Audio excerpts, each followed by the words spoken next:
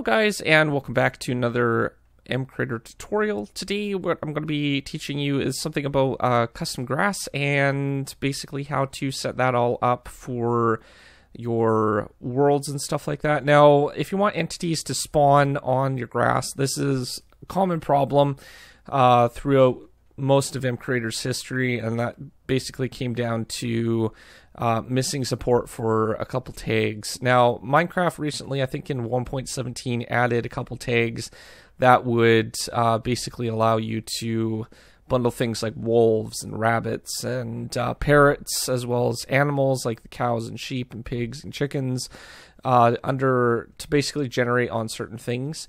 Um, most of these animals you see here, the wolves, the sheep, cows, and stuff have uh, grass block support. So we basically need to add that our block uh, to that tag so they also can spawn on those particular blocks.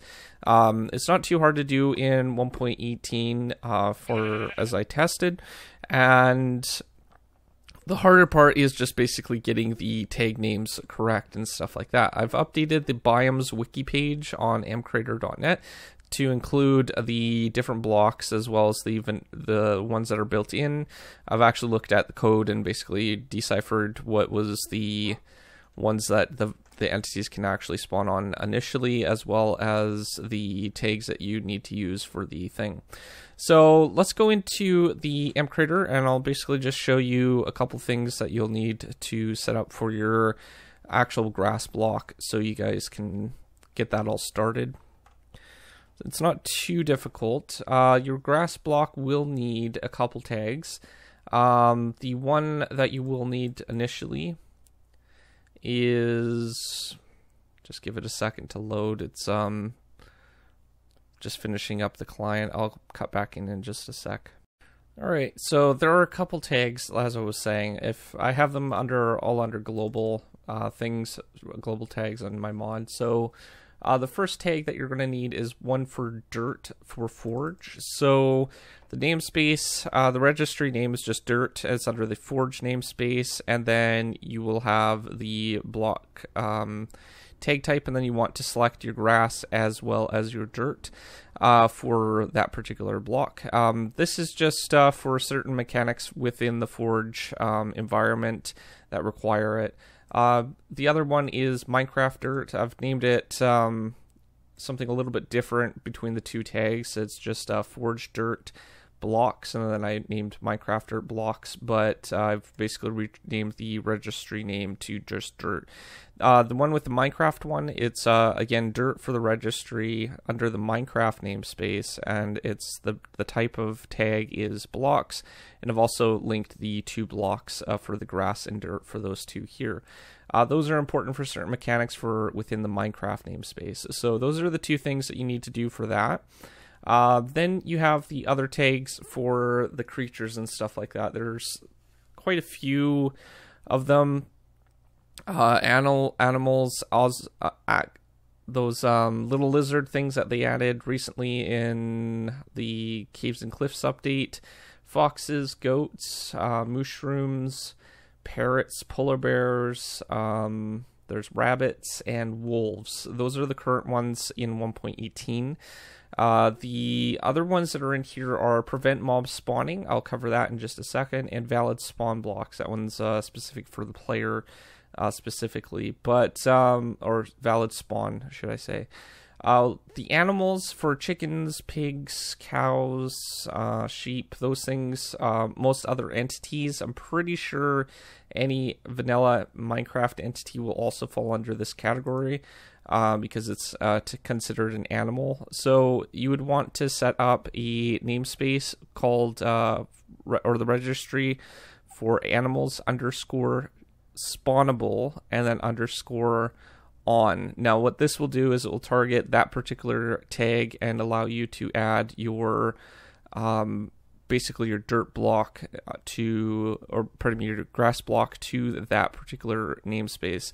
Now, this is basically controls all these tags. Basically, control the um, what kind of material like the blocks that the entities can spawn on top of.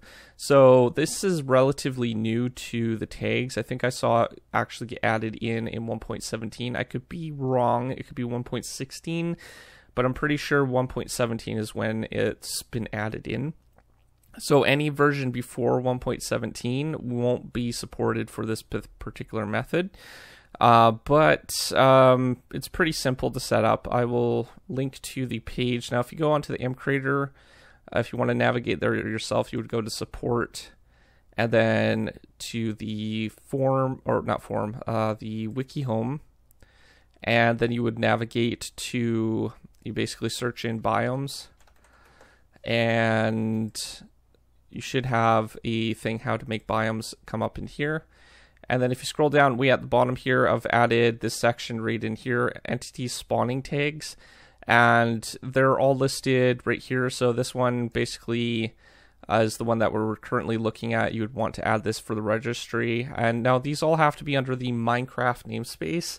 So make sure that they're on the under the Minecraft namespace and that uh, they're a block tag type. So those are the only things that are important.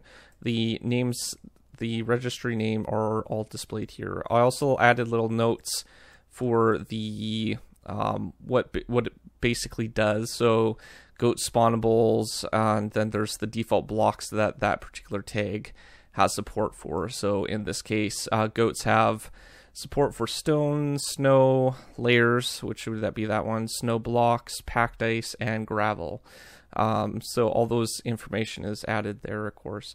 Um, but yeah, so certain entities like wolves and stuff have their own ones. Uh, down here have wolves, and you just basically need to add your grass block to that. And once you have all that set up, then what you can do is you can just basically test your world, and all the entities should be basically spawning in no problem.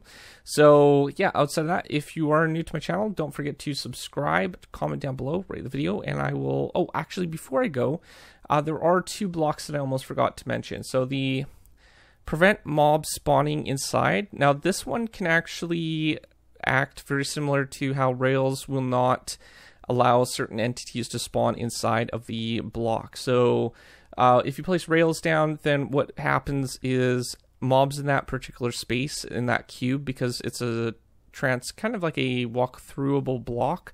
Uh, entities won't actually spawn there. So you could basically add your custom blocks to this namespace, and it will basically allow you to uh, prevent mob spawning if there if it's a basically a clear block that um, basically it um, for example if it's uh, something like a candlestick or something and you don't want them to spawn in the candlestick if it's on a block like uh, grass or something that it does have priority on, then what you could do is you could basically put the candle under this particular namespace, and then mobs won't spawn on that particular on the candle if it's basically um, in that certain area. So it's really handy uh, when you're making things that you don't want things to actually cross over. Uh, also, I think entities will try to avoid going over that particular block as well, similar to Rails.